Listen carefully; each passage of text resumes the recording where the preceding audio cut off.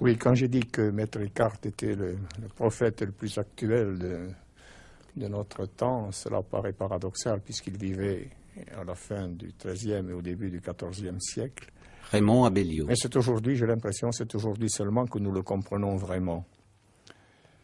Il y a une sorte de rétrospection, de rétrogénèse qui se fait dans l'intelligence de certains hommes qui ont été à l'époque des précurseurs, on les appelait volontiers des hérétiques, et qui apparaissent aujourd'hui comme euh, vraiment des, éclaireurs, des éclaireurs, euh, des phares de l'époque.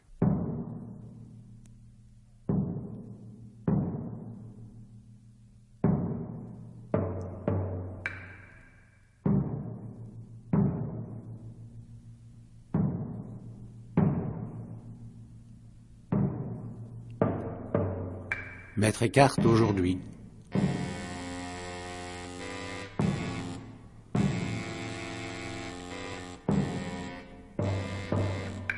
Par Michel Camus.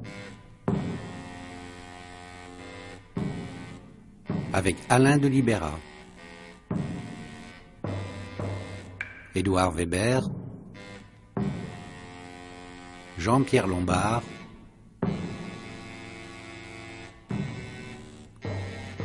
Et Raymond Abellio.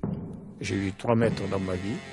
L'un m'a sorti de la politique, ensuite ça a été Husserl, philosophe ultramoderne, et ensuite ça a été Maître Eckhart. Husserl, à la fin de sa vie, a eu cette parole extraordinaire. La phénoménologie est une communauté gnostique. Or, Husserl ne s'est jamais occupé, à ma connaissance, de gnose, au sens traditionnel du mot.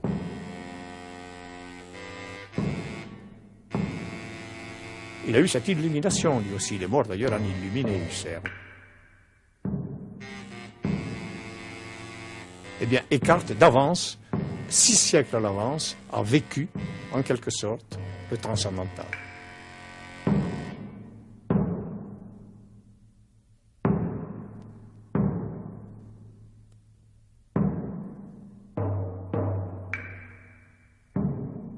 J'ai lu beaucoup d'écrits tant de maîtres païens que de prophètes, de l'Ancien et du Nouveau Testament.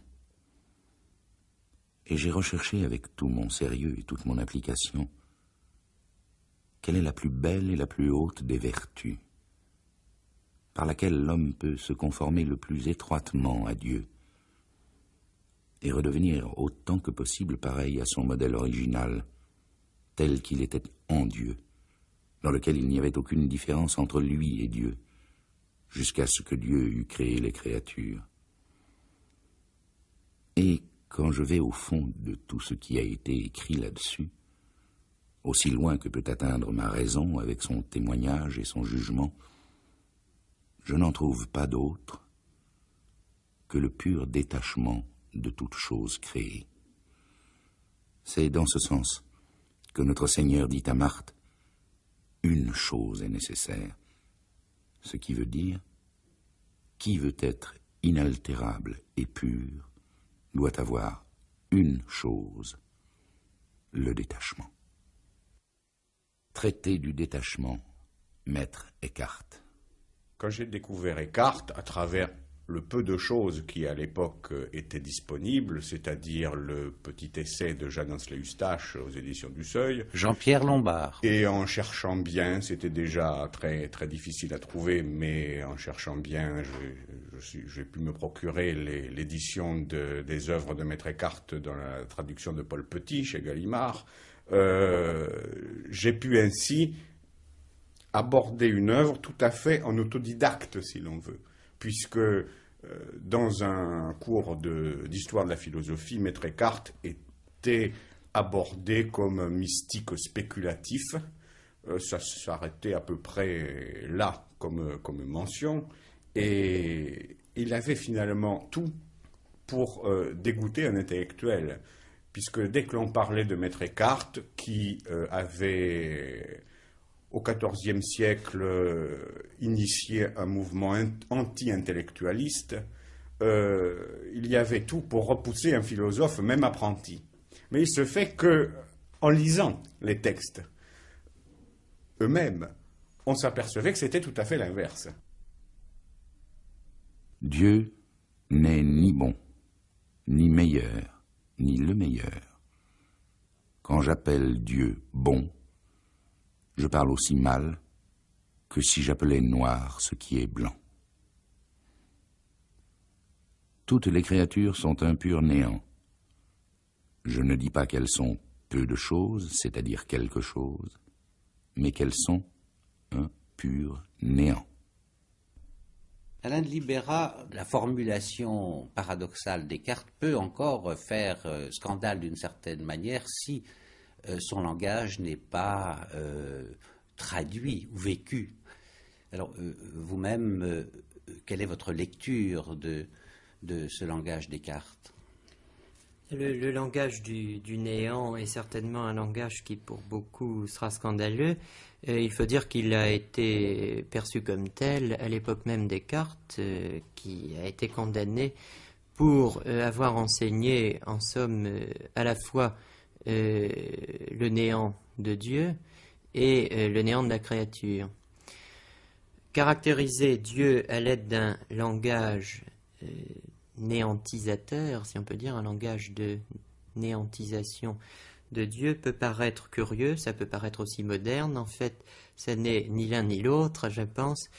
Écarte a certainement euh, accueilli en profondeur euh, le thème central de euh, la théologie dionysienne, de la théologie de Denis, qui est que Dieu n'est atteint au terme euh, d'un itinéraire qu'il faudra préciser, euh, que dans la mesure où on l'a dépouillé de tous ses noms, dans la mesure où on lui a refusé en quelque sorte toute cette euh, polynymie, c'est-à-dire cette accumulation de noms, le langage de la symbolique, si on peut dire, qui, dit Eckhart lui-même, recouvre Dieu comme d'un pelage et le voile le dissimule sous des images qui sont euh, d'autant plus euh, grossières qu'elles sont moins contradictoires.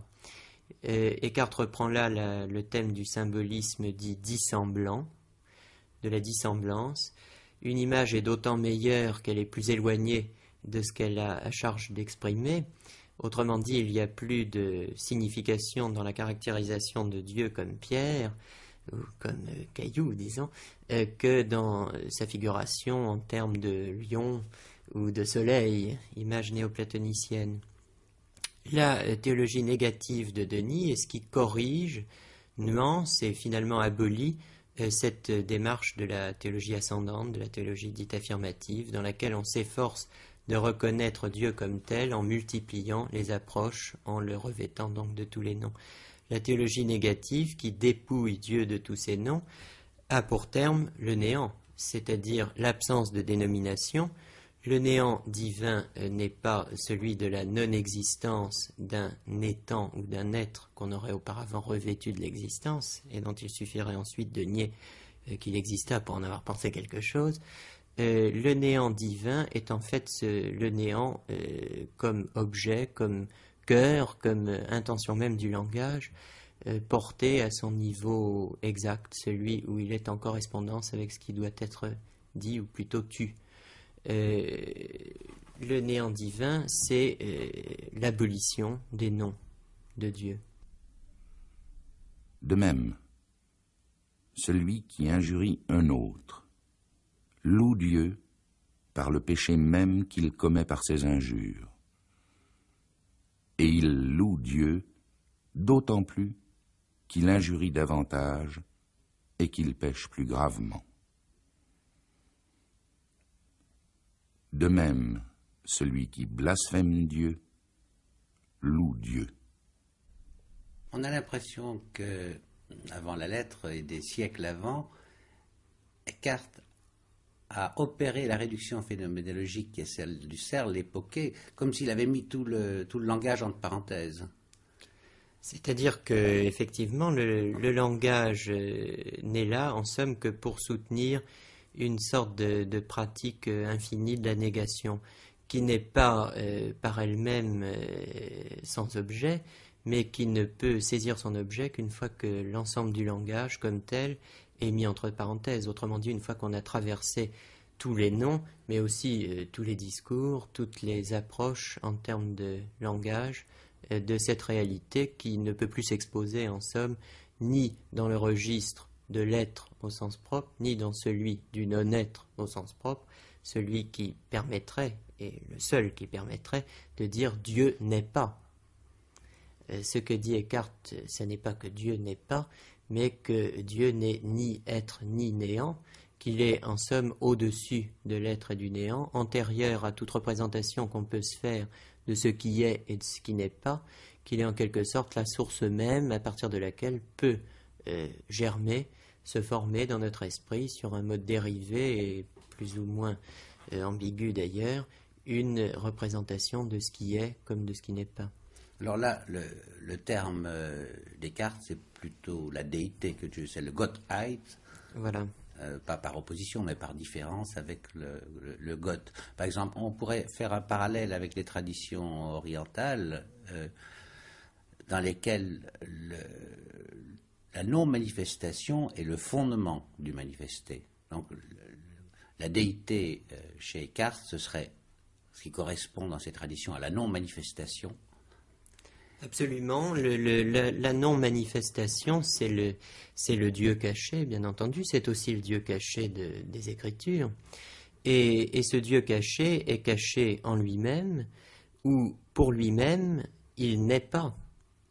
Autrement dit, euh, de même que Eckhart assigne à l'existence chrétienne, si on peut dire, euh, le programme d'abolir en quelque sorte cet être pour Dieu qui euh, maintient Dieu comme image, comme euh, euh, objet, si l'on peut dire, dans un face-à-face où la créature est pour elle-même, où Dieu est pour elle, existe pour elle, à titre d'objet, et où Dieu est pour lui-même, le programme que Eckhart assigne à l'existence chrétienne, c'est précisément de sortir de ce vis-à-vis, de ce face-à-face où Dieu est objectivé comme le Créateur, comme le Seigneur de l'être, comme le Dominus par rapport au Deus, le Seigneur, Seigneur de la création, euh, sortir de cette dimension de vis-à-vis, donc, pour entrer dans le, désert euh, de l'infiguré, de l'indicible, de l'impensable, à la limite, qu'est le non manifesté.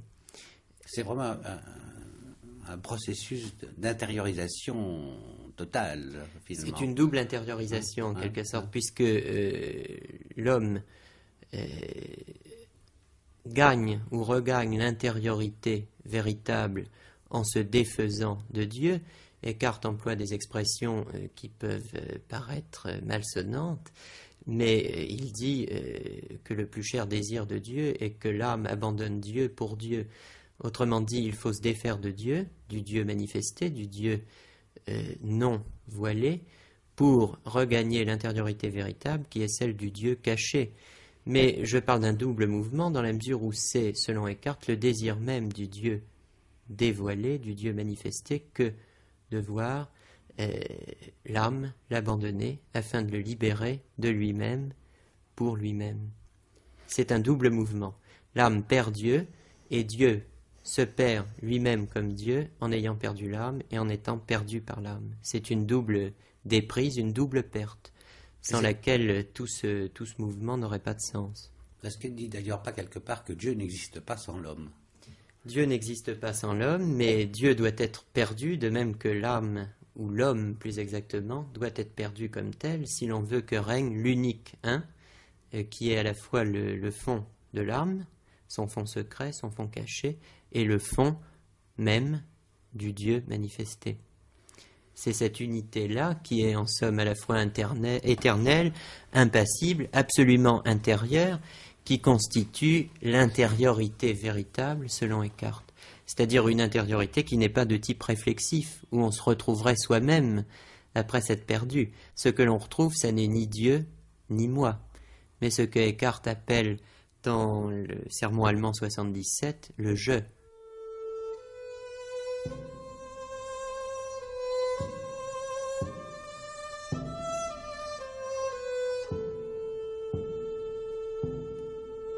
C'est en somme à la fois un, sujet et l'effacement du sujet.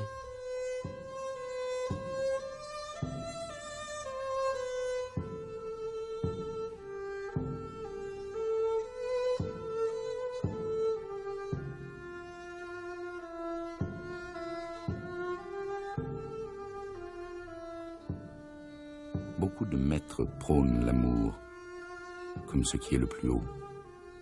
Saint Paul quand il dit Quelque tâche que j'entreprenne, si je n'ai pas l'amour, je ne suis rien. Mais je mets le détachement encore au-dessus de l'amour.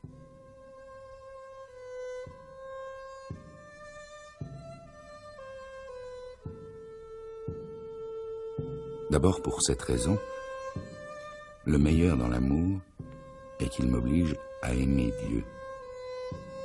Or, c'est quelque chose de beaucoup plus important d'obliger Dieu à venir à moi que de m'obliger à aller à Dieu. Et cela parce que ma béatitude éternelle repose sur ce que Dieu et moi devenions un.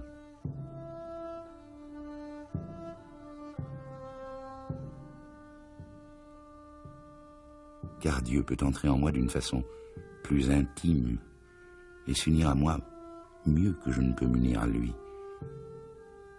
Or, que le détachement oblige Dieu à venir à moi, je le prouve ainsi. Tout être se tient volontiers dans le lieu naturel qui lui est propre. Le lieu naturel de Dieu qui lui est propre par excellence est l'unité et la pureté. Or, celle-ci repose sur le détachement. C'est pourquoi Dieu ne peut pas s'empêcher de se donner lui-même à un cœur détaché.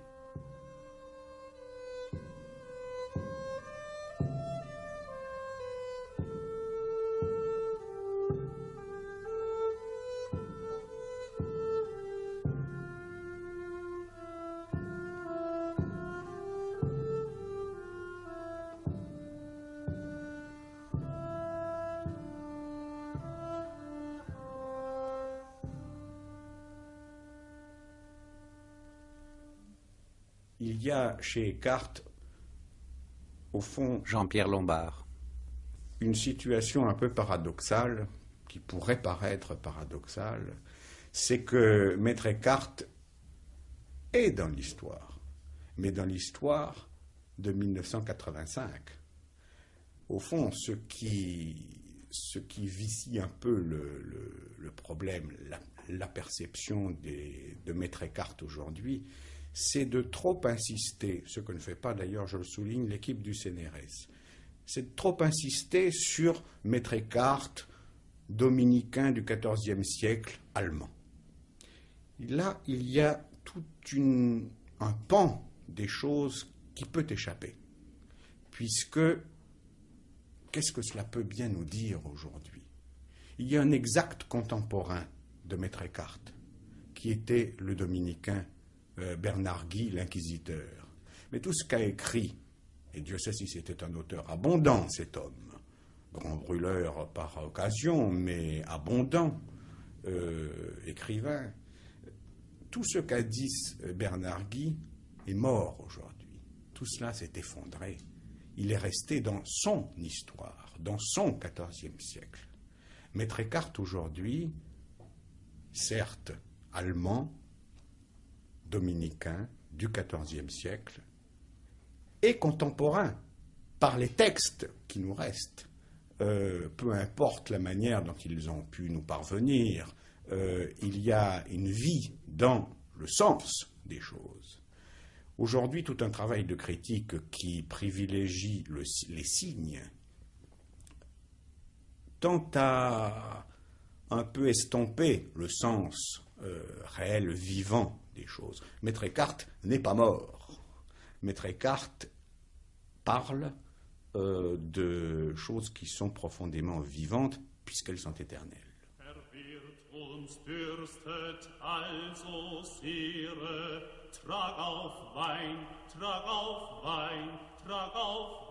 Er. hast ja Gott dein Leid verkehre. Bring her Wein, bring her Wein, bring her Wein, und mir dein Seelenbiere, nur schenk ein, nur schenk ein, nur schenk ein,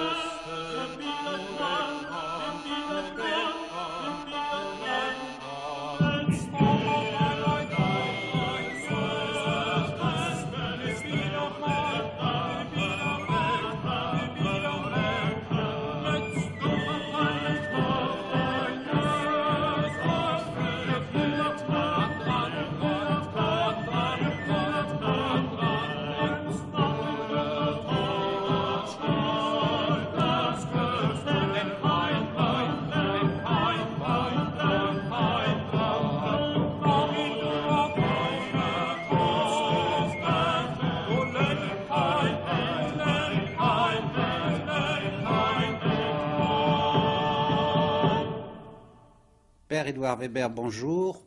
Vous êtes dominicain comme Maître Eckhart, euh, vous êtes euh, chargé de recherche au CNRS et vous êtes coéditeur de la traduction française de l'œuvre latine de Maître Eckhart dont le premier volume vient de paraître aux éditions du CERF. Alors, Père Weber, je voudrais vous demander euh, que sait-on de la vie de, de Maître Eckhart Le XIIIe siècle, c'est loin, et le, le Moyen Âge germanique, c'est difficile à imaginer aujourd'hui. C'est vrai, mais Maître Eckhart n'appartient pas uniquement au, monde germanique. C'est, il est maître, il a appelé maître parce qu'il est maître de Paris. Il a revendiqué ce titre-là quand il a eu des ennuis avec l'Inquisition épiscopale à Cologne. Mais surtout, euh, son œuvre est impossible à comprendre, même son œuvre allemande est impossible à comprendre, à part de ses travaux en langue latine, qui sont des travaux d'un maître du, XIIIe siècle. Il a écrit, il a vécu à la charnière du, XIIIe et du XIVe siècle.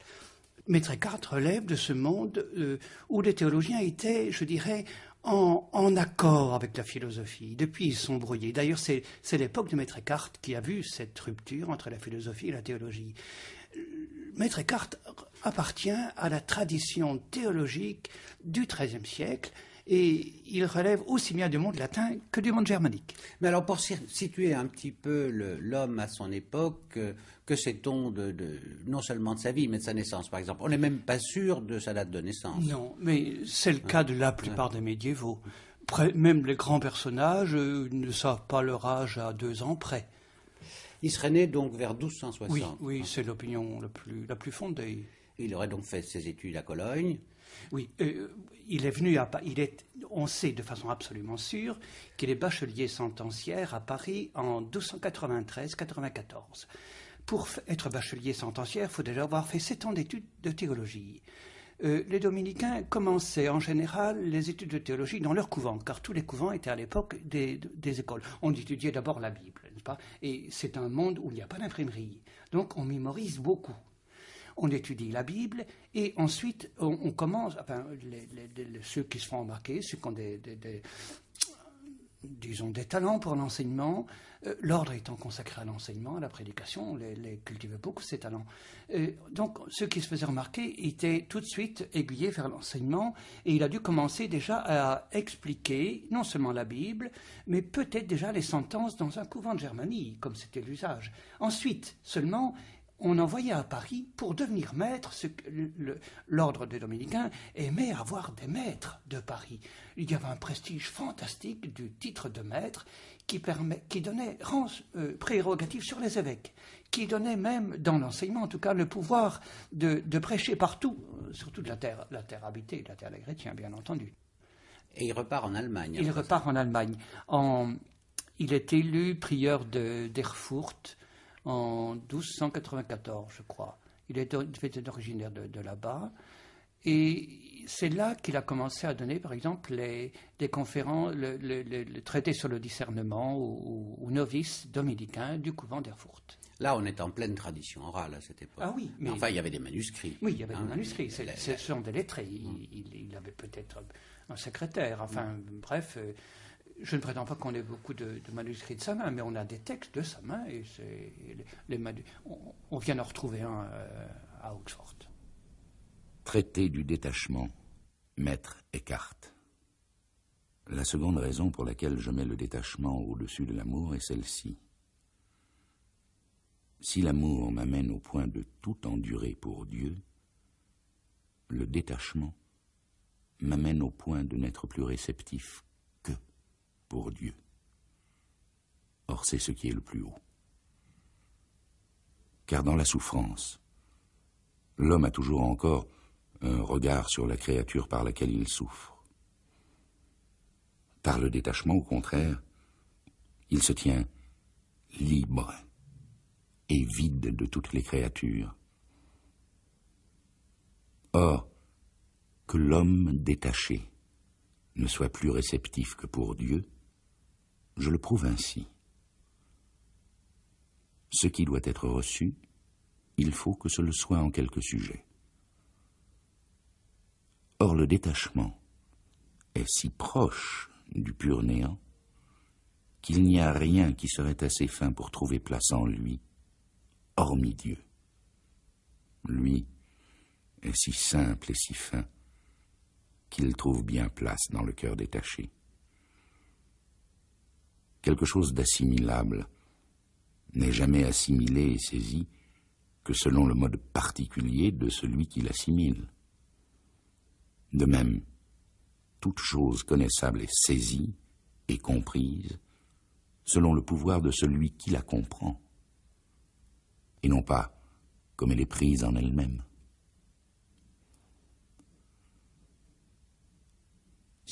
On revient à un traité comme celui du détachement, j'ai le sentiment que euh, quand Eckhart écrit au début de ce traité une seule chose est nécessaire, le détachement, il indique un peu une clé finalement, euh, non pas de sa, vision, mais du, du, chemin à parcourir. Il y a certainement un, chemin à parcourir. Alain Libéra. le, le, détachement n'est pas un état, euh, calculable, prévisible, programmable, si j'ose dire. C'est un événement, en un sens, qui n'est pas au pouvoir de l'homme, euh, avec lequel il doit compter, auquel il doit se préparer, mais qui survient de manière euh, instantanée, certes au terme d'un itinéraire, d'un travail de prédisposition, comme dit Eckhart, mais qui euh, arrive avec la, soudaineté de l'instant. Donc c'est cette soudaineté, ce caractère instantané, ce caractère violent en quelque sorte du détachement qu'il faut euh, souligner pour commencer certainement. Il n'y a pas une, euh, une valeur par elle-même, une valeur spirituelle si on peut dire du temps, de l'attente, de la préparation. La récompense est tout et la récompense est imprévisible et en quelque sorte donnée hors du temps. Il y a un peu l'indication d'une voix intellectuelle quand il dit euh, je mets le détachement encore au-dessus de l'amour, alors que l'amour c'est quand même un, des, des fondements de, la religiosité, de, la tradition chrétienne en général. On est là au cœur de, la controverse qui a opposé Eckhart aux théologiens augustinisants de son temps, notamment euh, aux théologiens, aux maîtres en théologie de l'Université de Paris. Certes, Eckhart, comme Thomas d'Aquin et d'autres auteurs euh, du XIIIe siècle, mis l'union intellectuelle, l'union par la connaissance, si on peut dire, au-dessus de l'union par l'amour. Et c'est une des constantes d'une partie de son œuvre. Cela dit, le détachement n'est pas d'ordre intellectuel. Autrement dit, il est au-dessus aussi bien de l'union par l'amour que de l'union par l'intellect c'est l'union par le fond, l'union par le néant, qui, euh, justement, n'est pas commandée, si je puis dire, par une stratégie intellectuelle dans laquelle on, s'efforcerait, par une maîtrise complète du discours théologique, d'approcher toujours plus une pensée exacte de ce qu'est Dieu.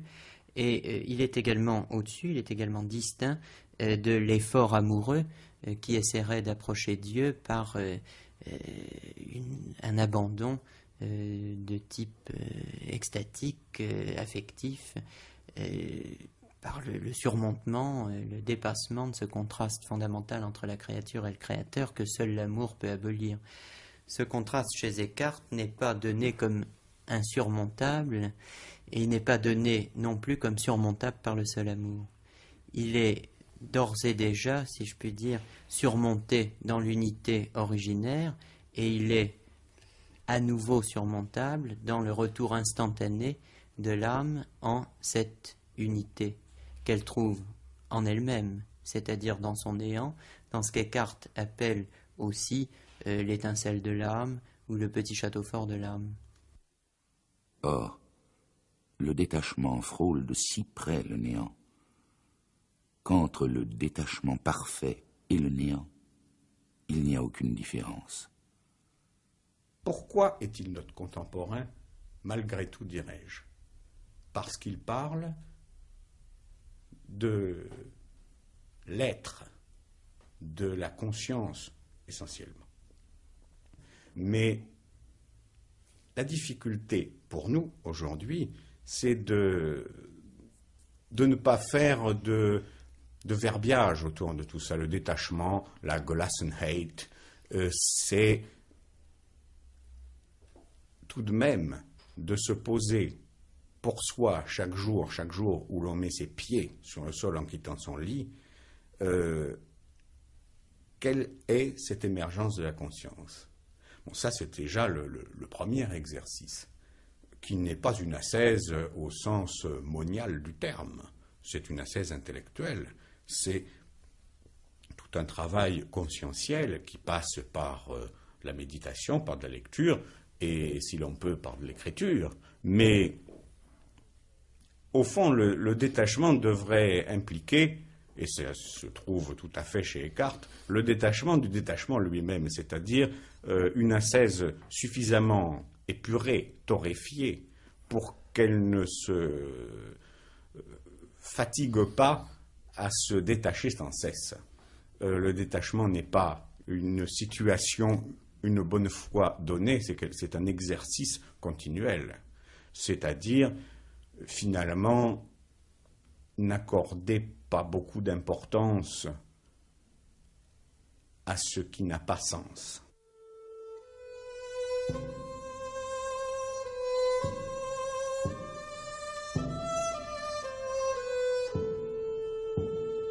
Les maîtres ont loué aussi l'humilité de préférence à beaucoup d'autres vertus. Mais je mets le détachement au-dessus de toute humilité. Et cela pour la raison suivante, l'humilité peut exister sans détachement, mais non pas le parfait détachement sans une humilité parfaite. Car celle-ci tente à la destruction de notre moi. Or, le détachement frôle de si près le néant qu'entre le détachement parfait et le néant, il n'y a aucune différence. C'est pourquoi il ne peut absolument pas y avoir de détachement parfait sans humilité.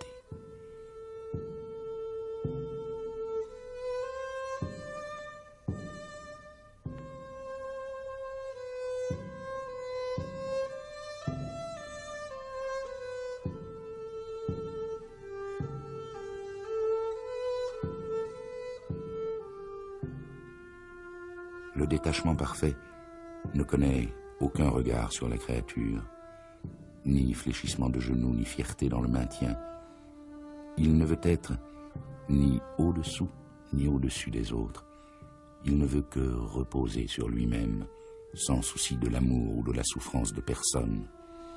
Il n'aspire ni à l'égalité, ni à l'inégalité avec quelque autre être que ce soit. Il ne veut pas ceci ou cela, il ne veut qu'être un avec soi-même.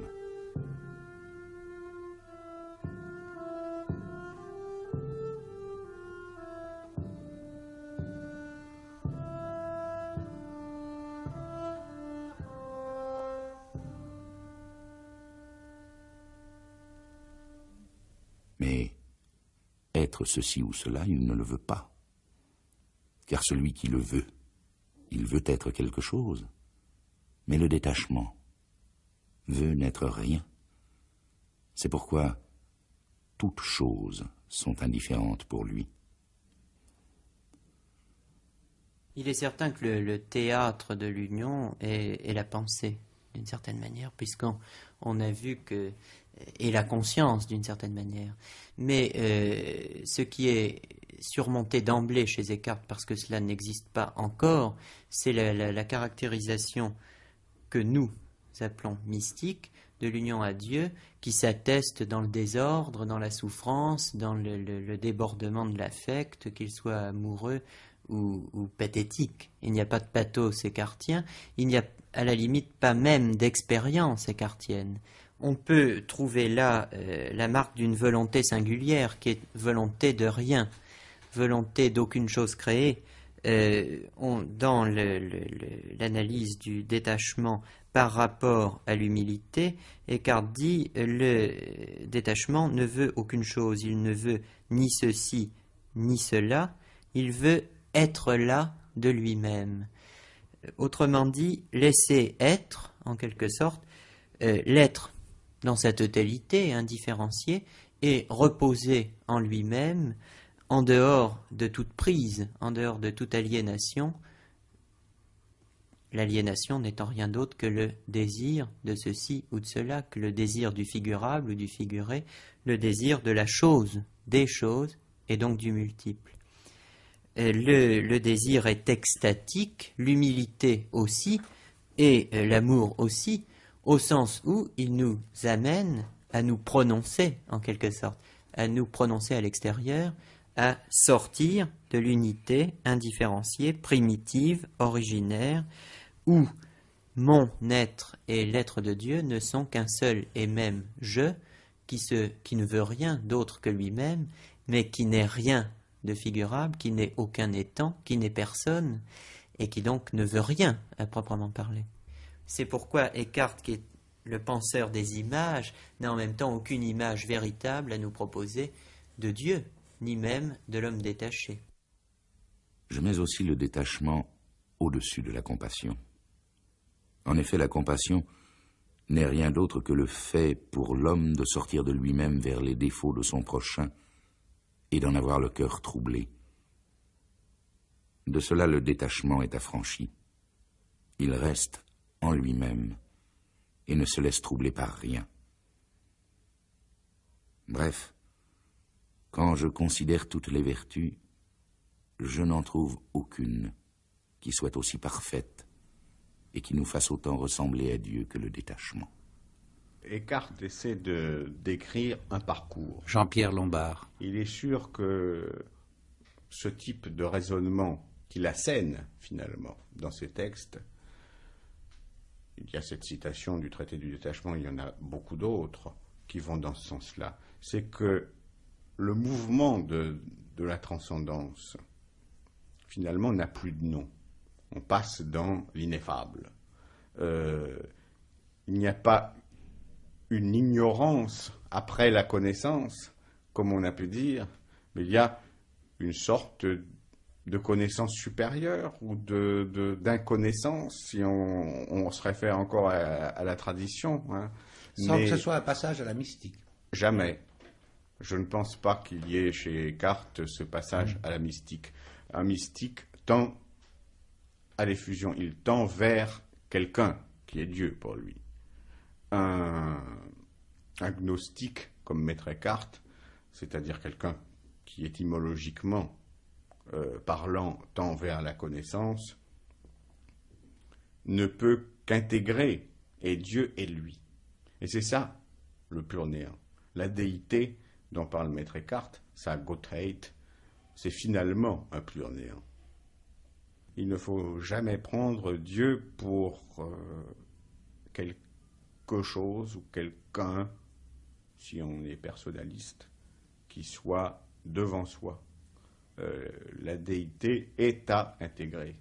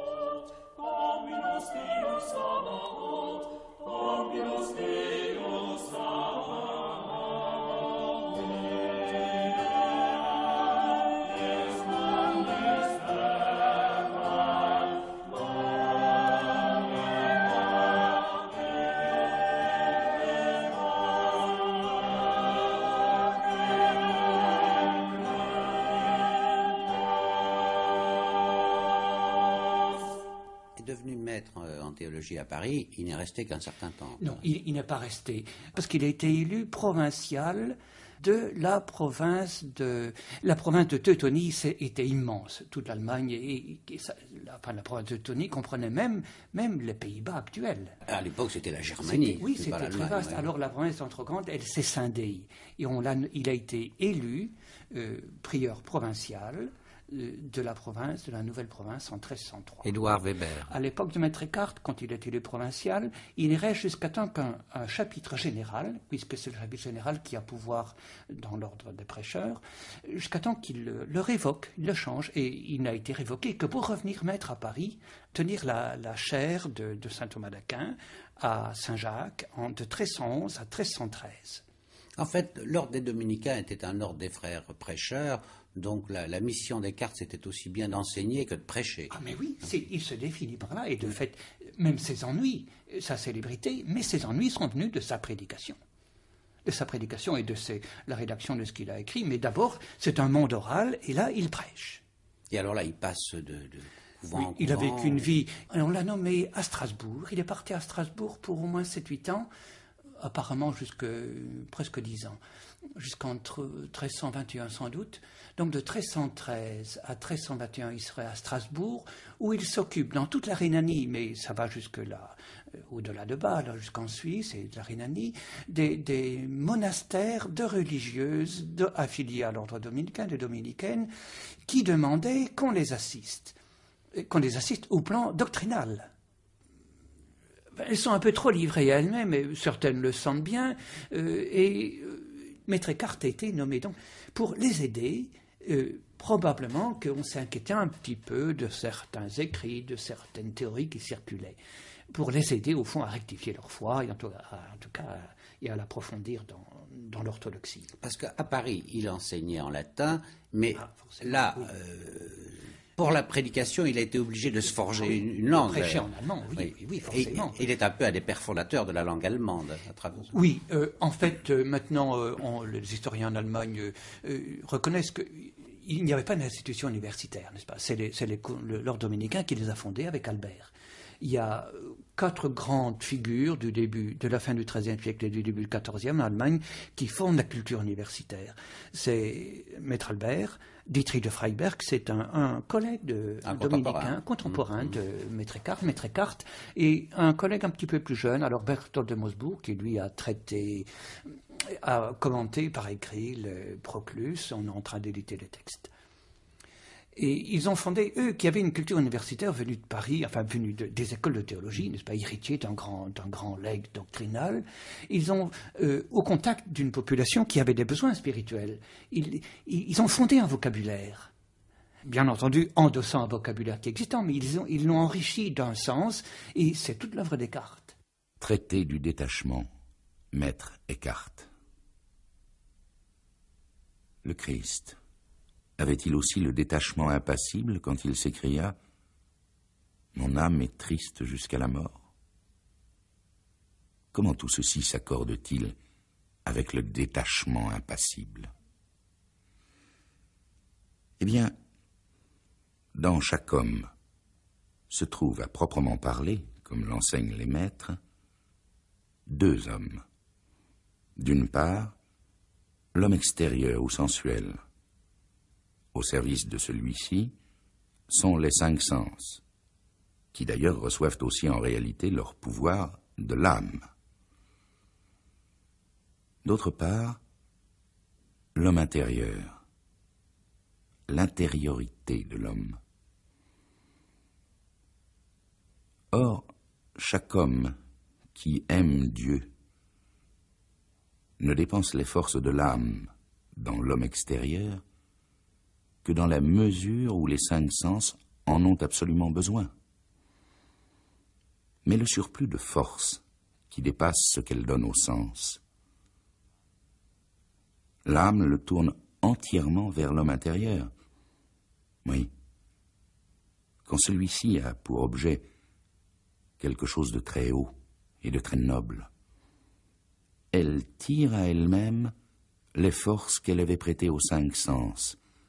Et alors, on dit que l'homme est hors de ses sens et ravi, car son objet est ou bien quelque chose d'imagé, mais pourtant de raisonnable, ou bien quelque chose de supra-raisonnable, et par là dépourvu d'image. Je me demande si on ne pourrait pas rapprocher euh, cette expression intérieure d'une autre expression de, Kierkegaard qui parlait dans, dans son journal d'intérieur infini, ce qui donne une dimension autre que, que, cette dimension psychologique. Kierkegaard parlait d'ailleurs d'intériorité de l'intériorité. Absolument. L'intériorité de l'intériorité, l'intériorité infinie, euh, est euh, pensée également par Eckhart, euh, avant Kierkegaard, si on peut dire, avec ce thème de l'union, de l'unité originaire de l'essence de l'âme et de l'essence de Dieu. C'est euh, c'est cette unité infinie, cette intériorité infinie, l'intérieur de Dieu étant l'intérieur de l'âme, et réciproquement, c'est cette unité infinie qui est le terme de la course, de la procession réversive, de la conversion de l'âme vers sa propre origine, une intériorité de l'intériorité certainement, dans la mesure où euh, l'intériorité de l'intériorité c'est la déité, et euh, pour Dieu, et l'intériorité de l'intériorité pour l'âme, c'est l'essence de l'âme, autrement dit l'essence de Dieu. On est toujours dans cet unique un qui est euh, la source, l'origine, qui précède toutes les distinctions et donc toutes les pensées. Dieu attend justement de chaque homme spirituel qu'il l'aime avec toutes les forces de son âme. C'est pourquoi il dit Aime ton Dieu de tout ton cœur. Or, il y a maintes gens qui dépensent les forces de leur âme entièrement dans l'homme extérieur. Ce sont les gens qui consacrent toutes leurs pensées et leurs efforts au bien passager. Ils ne savent rien de l'homme intérieur. Mais de même que l'homme bon, parfois, retire à son homme extérieur toutes les forces de l'âme quand son âme est dirigée vers un objet élevé, de même des hommes semblables à des animaux retirent à leur homme intérieur toutes les forces de l'âme et les dépensent à l'extérieur. Allons plus loin. L'homme extérieur peut exercer une activité, cependant que l'homme intérieur en reste néanmoins entièrement dégagé. Au fond, ce que Eckhart veut euh, dire quand il parle de l'homme impassible, c'est-à-dire qu'il n'est pas soumis ni à la volonté, ni à la compassion, ni à la dévotion, ni à, toute forme extérieure. Et il va très loin quand il parle de l'homme extérieur. C'est qu'il dit même euh, que si Dieu veut rencontrer l'homme, qu'il vienne. Moi, je reste en moi. Ça semble, et ça a dû sembler, tout à fait paradoxal. Euh, mais je pense sincèrement qu'il y a là tout un travail euh, contemporain, encore une fois, à faire, c'est qu'il y a dans, dans ce, parcours personnel de la conscience une nécessité de rester dans sa vie, euh, dans l'ipséité, dirait Husserl.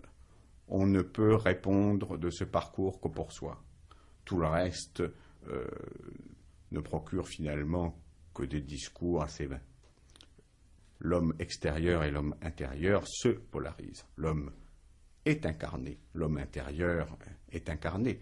Euh, il y a une nécessité aussi de vivre son, sa, propre incarnation d'une manière qui ne soit pas euh, sclérosée par quelque idée que tout ce qui est corporel, psychique, soit nécessairement euh, malsain ou négatif.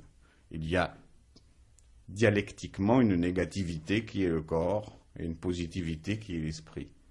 Mais tout cela s'accorde, ou nous ne vivrions pas.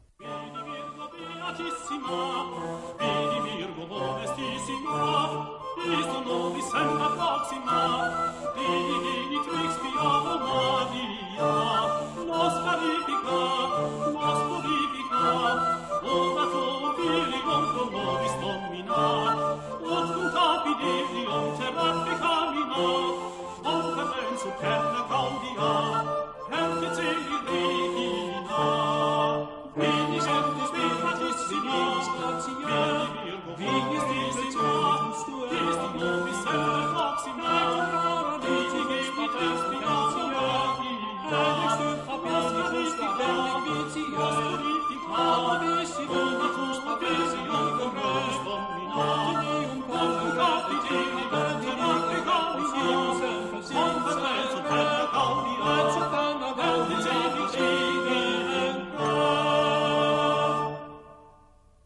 Quand on lit ces traités, on a l'impression d'une part d'une immense culture et d'autre part d'une très très grande liberté d'esprit, de, quelqu'un de très très ouvert. C'est un cas vraiment exceptionnel. Maître Eckhart dispose de la meilleure information en théologie. Et, cela, il l'a revendiqué, comme maître de Paris, il n'avait à être jugé que par des maîtres de Paris.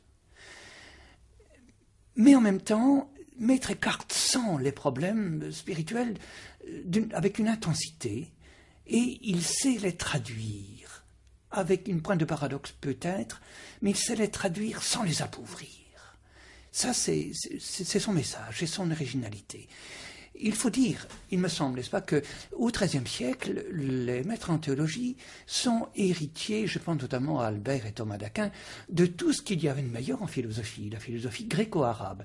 Et ça a bouleversé tout l'horizon théologique et notamment les grands thèmes de l'intellect, où Thomas d'Aquin lui-même est intervenu de façon magistrale, déjà Albert l'avait fait, mais Thomas d'Aquin aussi, et Maître Eckhart connaît cela.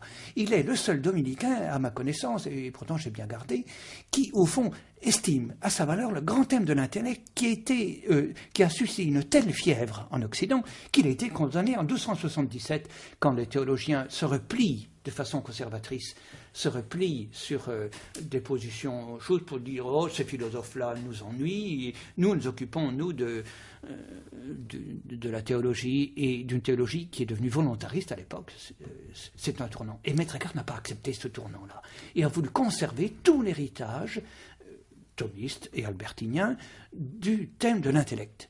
De sorte que ce n'est pas par accident, n'est-ce pas, que Maître Eckhart est, je dirais, le grand héritier du grand thème de l'intellect, avec, je dirais, tous les périls que ça pose, puisque pratiquement, bon, euh, pour faire simple, mais quand même, pensez à Spinoza, pensez à Hegel, mm. c'est cette même veine, c'est une autre, c'est un autre état de la question, bien entendu, mais c'est les mêmes problèmes.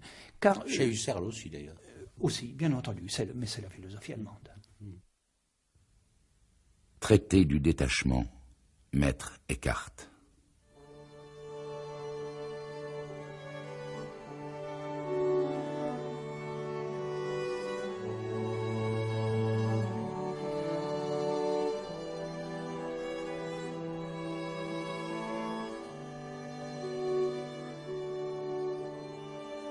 Nous pouvons aussi nous référer à un mot d'Augustin. L'âme a une entrée secrète dans la nature divine où toutes choses sont pour elle anéanties. Cet accès, seul le pur détachement l'offre sur terre. Quand celui-ci devient parfait, l'âme devient par connaissance sans connaissance, par amour sans amour, et par l'illumination obscure.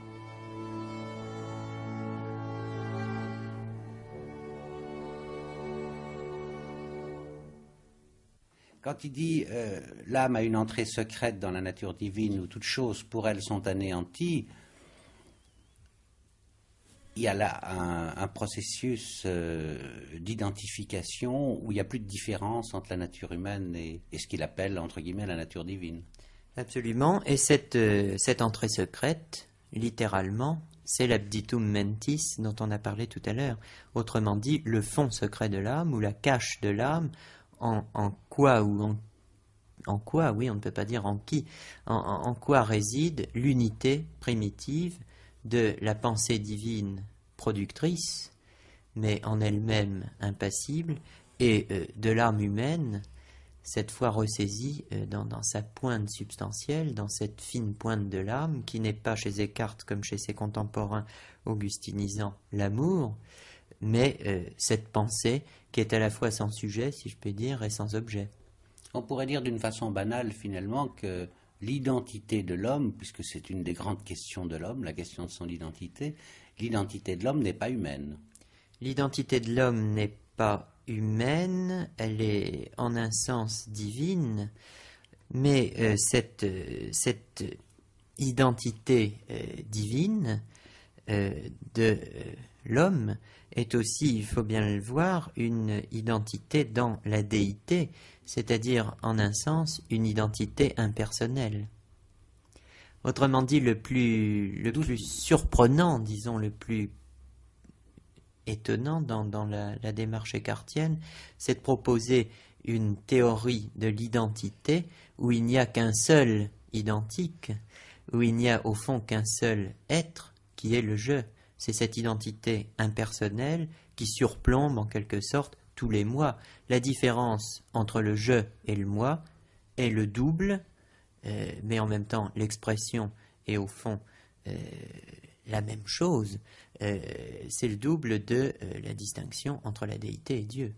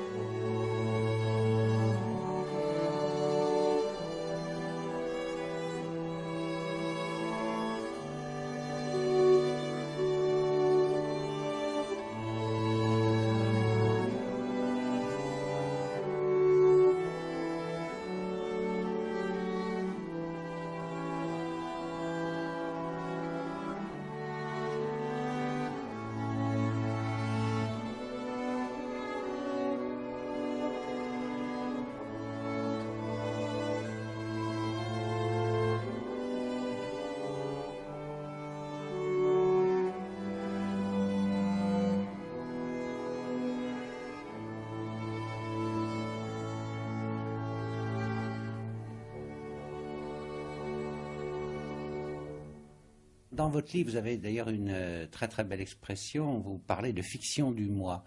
Il est évident que dans la vision des cartes, euh, le moi saute, en quelque sorte. Oui, le moi est, une fiction. Euh, le moi est ce qui, ce qui sous-tend précisément dans l'élément de la représentation, qui est un élément d'aliénation vers l'extérieur, un élément de, l'élément même de la pensée en tant qu'elle est pensée d'objet, pensée tournée vers, vers l'extérieur. Le, le moi, la fiction du moi, c'est le suppôt, le sujet dans l'élément de la représentation euh, de euh, l'individu tel que nous, nous nous le représentons. Autrement, enfin nous, c'est-à-dire tel qu'on a accoutumé de se le représenter en termes psychologiques. Euh, or, c'est précisément cela qui doit être perdu, abandonné. Ce moi fictif, qui est la fiction par laquelle l'homme intérieur est contraint, en quelque sorte, euh, de se prononcer à l'extérieur. On pourrait dire peut-être d'une certaine manière que le propos du traité du détachement serait de délivrer l'homme de l'homme. Délivrer l'homme de l'homme, délivrer l'homme de la fiction du moi, certainement, délivrer l'homme de lui-même et le délivrer de Dieu. Il ne faut pas oublier euh, cela. Euh, le, Dieu doit être perdu, tout de même que l'homme doit être perdu, puisque Dieu n'est pas sans l'homme et l'homme n'est pas sans Dieu. Sont les deux, euh, en quelque sorte, les deux entités qui sont face à face dans l'élément de la représentation. Dieu n'existe pour moi que dans la mesure où je suis moi, et Dieu n'est Dieu que dans la mesure où je suis moi. Mais là où Eckhart veut nous placer, si je puis dire, c'est-à-dire dans l'unique un, il n'y a plus ni Dieu ni homme, il n'y a plus personne, littéralement.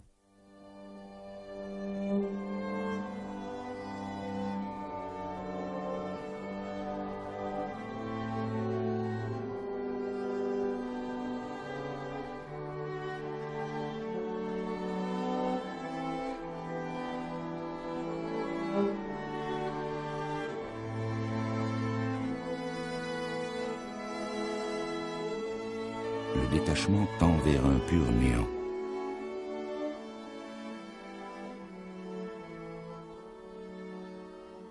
Car il tend vers l'état le plus haut dans lequel Dieu peut agir en nous entièrement à sa guise. Or ce n'est pas dans tous les cœurs que Dieu peut agir tout à fait à sa guise. À cela nous trouvons une similitude dans la nature. Quand on allume un four qu'on met dedans une pâte d'avoine, une d'orge, une de sel et une de froment, il n'y a qu'une seule chaleur dans le four. Et pourtant, elle ne produit pas le même effet dans toutes les pâtes. Mais de l'une est produit un pain raffiné, de l'autre un plus grossier, et du troisième un autre encore plus grossier. Ce n'est pas la faute de la chaleur, mais de la matière, qui se trouvait n'être pas la même.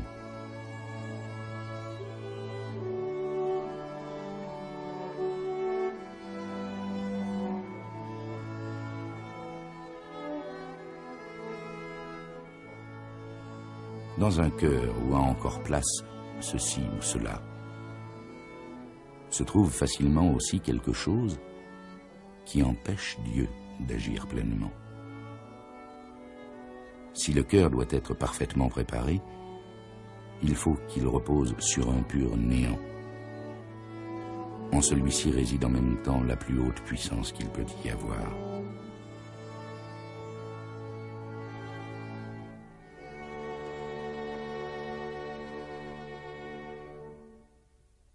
Pour en revenir à la, vie des cartes, euh, il y a eu ce grand problème euh, des articles condamnés par euh, la bulle de Jean 22, mais on, on est sûr qu'il était mort à cette époque. On, Oui, imagine- là, enfin, on est sûr. euh, il faut peut-être rappeler un mot du procès Descartes à Cologne, pour autant que je puisse le dire en quelques mots.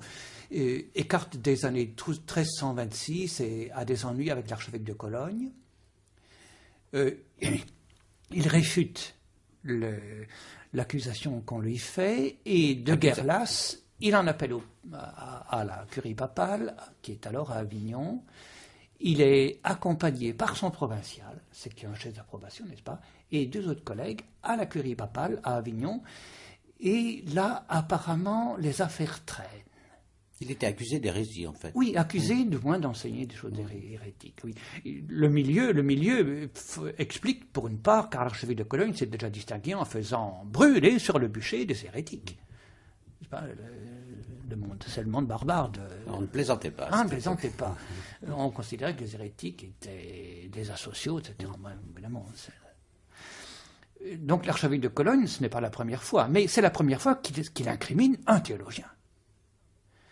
Et c'est maître complexe. de Paris, un maître de Paris.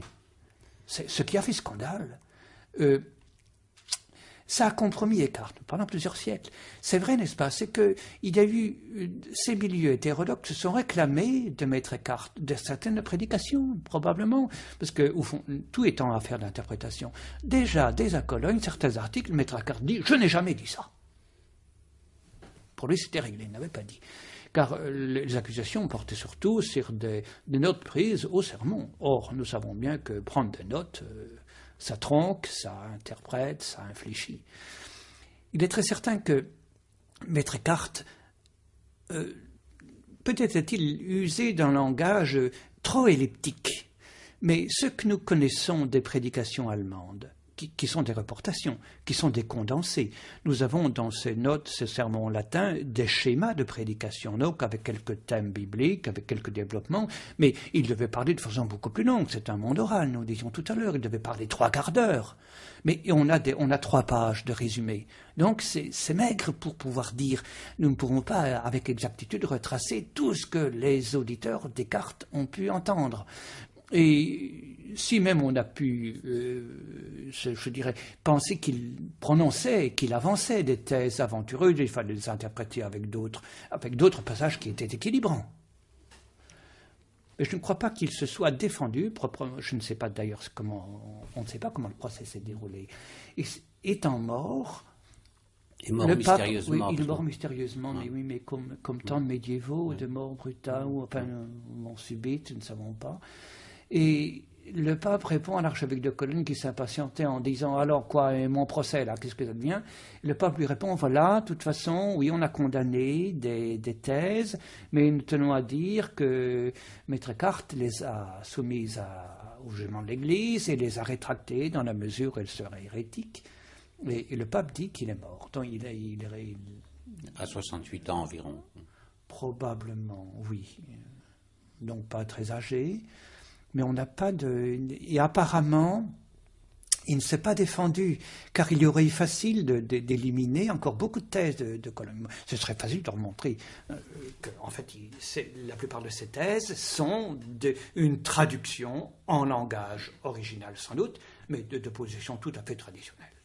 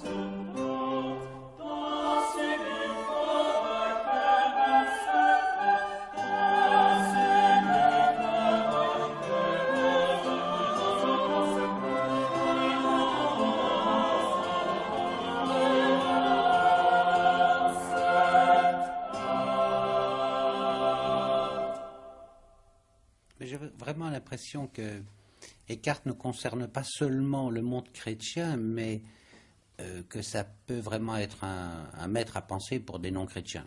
Personnellement, je ne suis pas chrétien, je suis ouvert à des tas de traditions.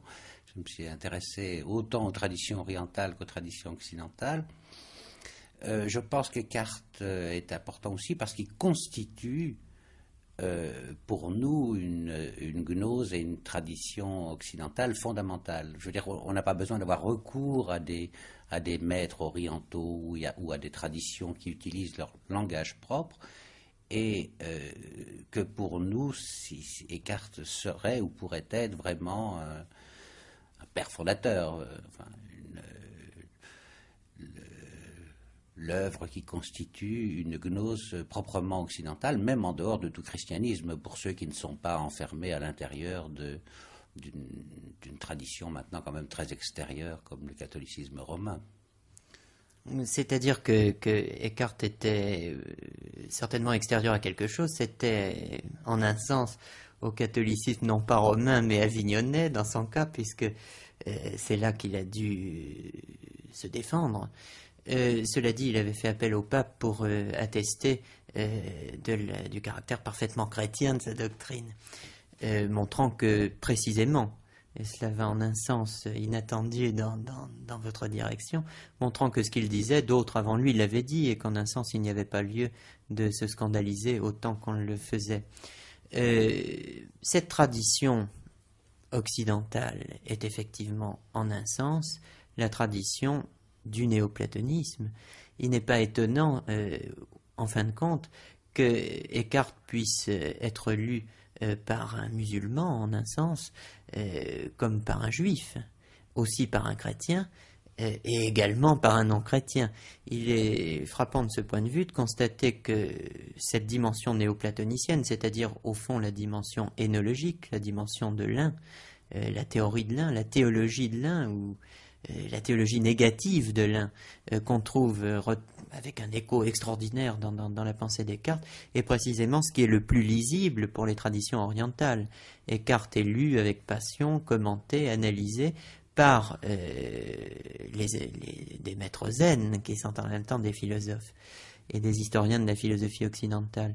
Donc c'est cette, dimension profondément occidentale, si je puis dire, qui fait Descartes un maître, je ne sais pas euh, pour l'avenir, mais en tout cas pour le présent, et en tout cas euh, quelqu'un qui se trouve au croisement de, cultures qui ne sont pas nécessairement euh, les cultures des religions du livre, les trois grandes cultures euh, liées à la révélation biblique, mais aussi bien les cultures extrêmes orientales et aussi la culture euh, de celui qui accède à l'un, au néant et à euh, la dimension d'une passion sans objet ou d'une pensée sans sujet, etc., par d'autres voies que l'approche religieuse. Pensons à la littérature ou d'autres attitudes de ce genre. Édouard Weber dans ces grandes intuitions-là qui, avoisinent le thème de Dieu, n'est-ce pas? Euh, Tout le monde oriental, extrême oriental, et puis oriental pour parler de Denis, je dirais, ils nous ont précédés de très loin. Il est bien vrai, n'est-ce pas, que l'Occident rationaliste n'a pas beaucoup abondé dans ce sens-là. Mais maintenant, nous sentons que, avec le recul, que la raison n'épuise pas l'intuition proprement intellective. Est-ce que Descartes n'a pas été une catastrophe? Je ne parle, pas, je ne parle pas de maître Descartes, mais de mais écoutez, Descartes. essayons d'être justes. Il est bien vrai, n'est-ce pas, que euh, François Pascal, n'est-ce pas, Descartes inutile. Euh, non, Descartes a été utile pour le monde des sciences. Des idées claires, faire une mécanique, ne plus avoir faim, c'est un grand problème.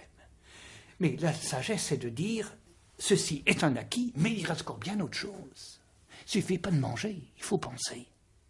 Il faut être soi-même. Qu'est-ce que c'est que la liberté? Qu'est-ce que c'est qu'être un homme? Qu'est-ce que, qu'est-ce que Dieu? Qu'est-ce que l'histoire? Qu'est-ce que, enfin, pour employer un mot païen, le destin, le salut dans le monde biblique?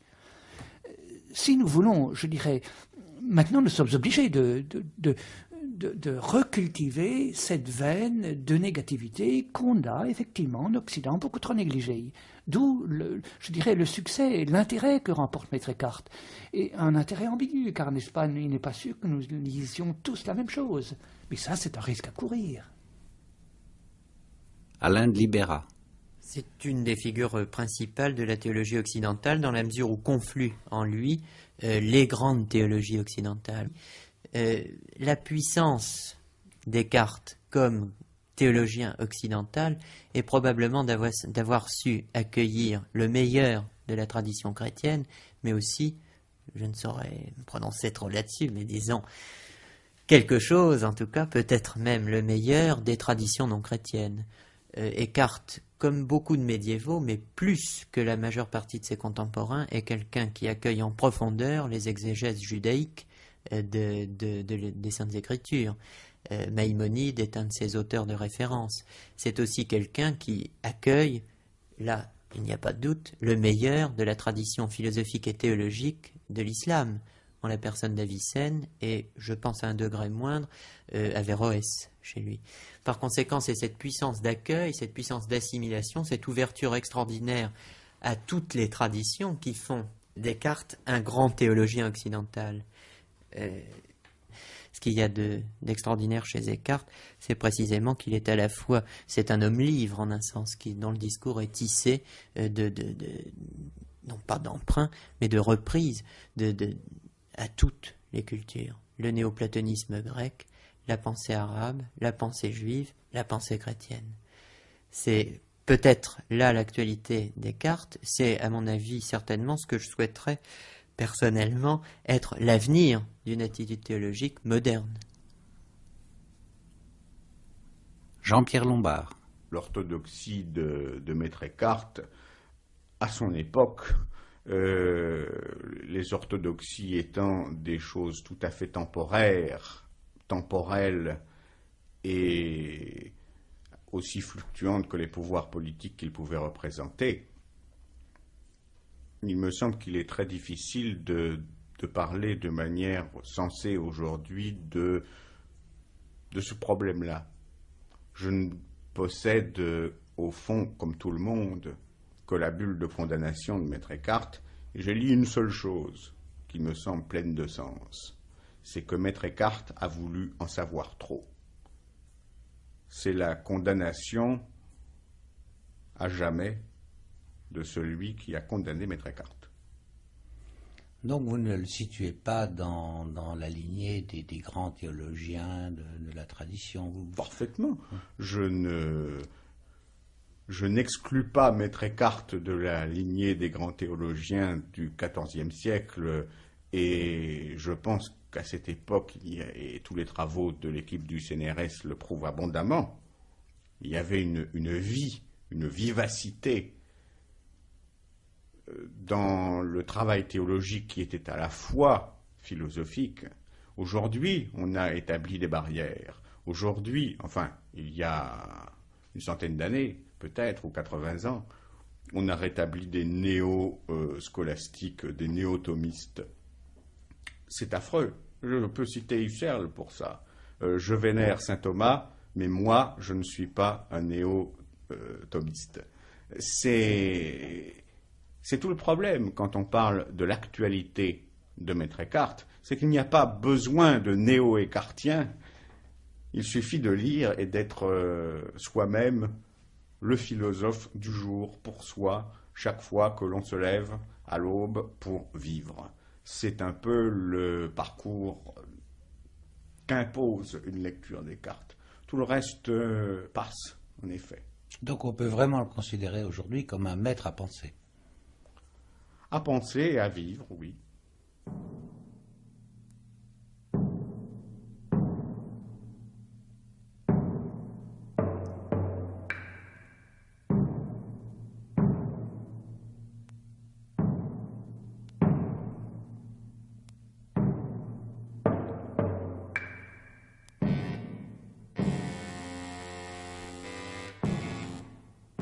Maintenant, tu demanderas qu'est donc le détachement pour qu'il cache en lui une pareille puissance. Le vrai détachement signifie que l'esprit se tient impassible dans tout ce qui lui arrive, que ce soit agréable ou douloureux, un honneur ou une honte, comme une large montagne se tient impassible sous un vent léger. Rien ne rend l'homme plus semblable à Dieu que ce détachement impassible.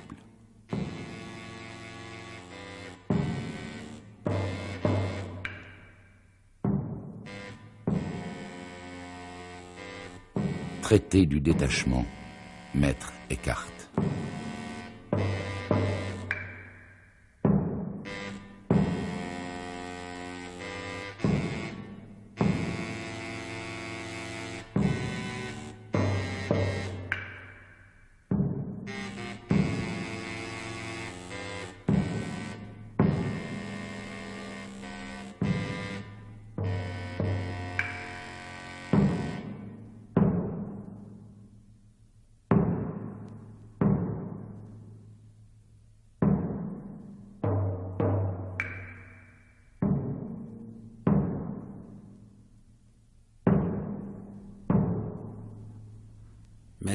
Aujourd'hui.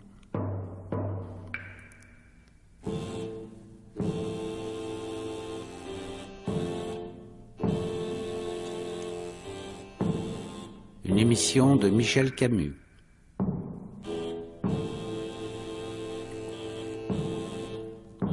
Avec Raymond Abellio, Alain de Libera, Jean-Pierre Lombard, Édouard Weber.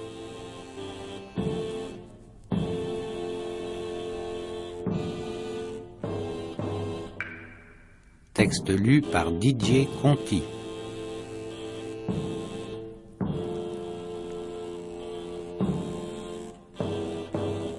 Prise de son et mixage, Yvette Hubot et Marie-Françoise Simon.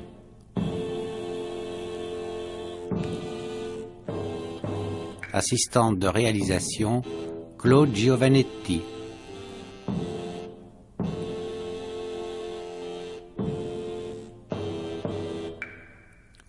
Sur Maître Eckhart paru en 1984.